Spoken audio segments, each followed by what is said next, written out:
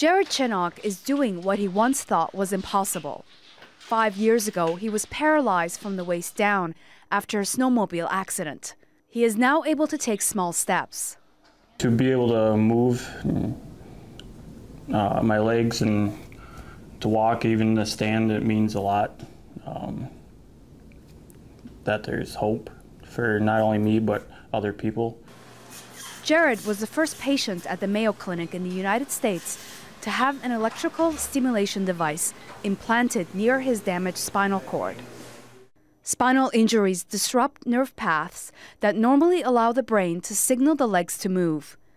In this study, doctors implanted an electrical stimulator at the base of the spine between the vertebrae and spinal column.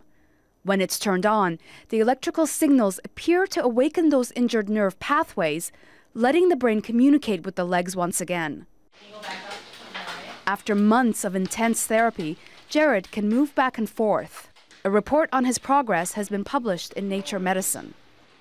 Because we were able to stimulate directly the spinal cord itself, and we believe that that was very important to be able to regain the volitional control or voluntary control.